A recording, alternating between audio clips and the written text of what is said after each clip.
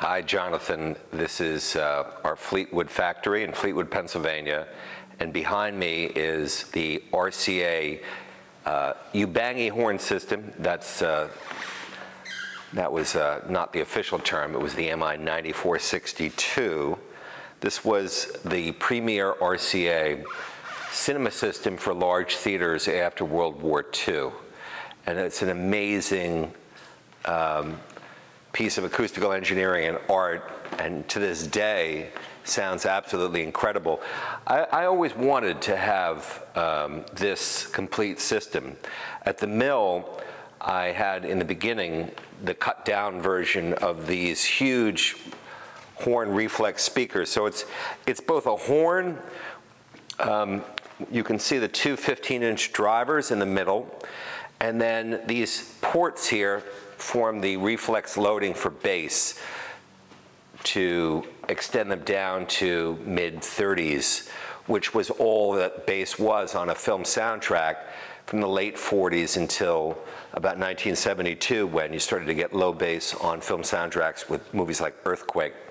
So this system had the, the bass cabinet and then these radial horns, which RCA developed after World War II, um, they invented the radial horn essentially, which were cast aluminum, and uh, the uh, 9400 series compression driver, which we use on the AC1. So there's a lot of a lot of shared uh, history or overlap for us with this system, and I, I couldn't. I never found actually a pair of these when I could have used them because you can't even get these. I, I don't even have room for these at the mill and they wouldn't, I don't think, even fit into the mill. But here at the factory, um, we have room for them, and I was super lucky when a, a, theater in Ohio contacted me and said, we've got these things, do you want them? And I said, hell yeah. We drove out with a truck and a trailer 10 hours and, and, and got these things. Uh, they were behind the screen and uh, built into a wall in the mezzanine. The thing with these speakers is that the cone drivers are incredibly special. I think it was the uh, MI 9449 woofer.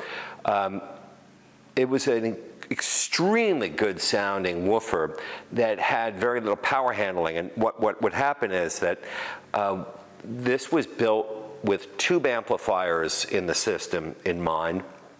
And when solid state comes in, in in in the 60s and 70s into theaters and they replace the tube amps with these really crappy, cheaper solid state amplifiers, they always blew up these woofers. And, and somehow these all are intact and perfect. And they, that you can't run this speaker without these woofers and you can't recone these woofers because the cones don't exist. So finding all this completely correct with the original wires and intact was an incredible find for us. These speakers are, are a two-way system because uh, this was the bass, obviously, big, two 15-inch woofers, and this was the mids and highs. They didn't go really high. They, went to about 8K, 8,000 hertz, and that's because there wasn't anything on the film soundtrack above that. So not like modern soundtracks. So we actually added um, tweeter. Now, this is the center, center channel. We haven't added a tweeter to this yet. And in the, um, in the theater, the, they had a mezzanine, so we don't really need this horn at all. This was to get the people up top, you know, to make sure that they got sound too. Uh, you really only need this lower horn. And you'll see this white speckled paint. Uh, you might think that's some sort of uh, cool decorative paint job. No, no, this is, this is the overspray from the screen. In the old days, the screens had micro perforations and somebody would come with a paint gun and paint the screen so that they were really bright and reflective. And through the little holes, paint would, you know, make its way. These things were in, behind the screen, and so they would get these, you know, white speckled paint all over them. And that's kind of a badge of authenticity because uh, if you ever see somebody selling cinema speakers from this period and they don't have This paint, it's bullshit. They're either reproductions or they've been repainted, but this is sort of your guarantee that this is the real deal. These are just really exceptionally rare. I've never uh, seen a full set of this system anywhere for sale, um, not in the last 10 years or so. It's also interesting, this is the system that Allen Sides repurposed for his Ocean Way recording studios, and which Michael Jackson and Quincy Jones used to do Thriller. And then Michael Jackson Quincy Jones bought this system um, from Allen Sides for, um, I guess, for the Neverland or whatever uh, Michael Jackson studio, and his, his home was called. However, it's not the same as this system. Uh, this system had very specific woofers that were designed by RCA for this enclosure.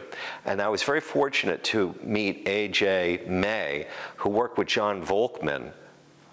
These, these guys go back actually into the 1930s, designing RCA's cinema sound systems. And AJ was already, I mean, maybe 90 years old 15 years ago, 20 years ago, explained to me how much work went into designing this system and creating the drivers that would properly load the horn and the reflex ports and you know the the amount of effort that went in. They didn't have anything digital. They didn't have computers. They had to do everything by hand with manual measurements and calculations and they got it so right and you know, there's nothing made today that is even close in comparison to how, how this actually operates and sounds.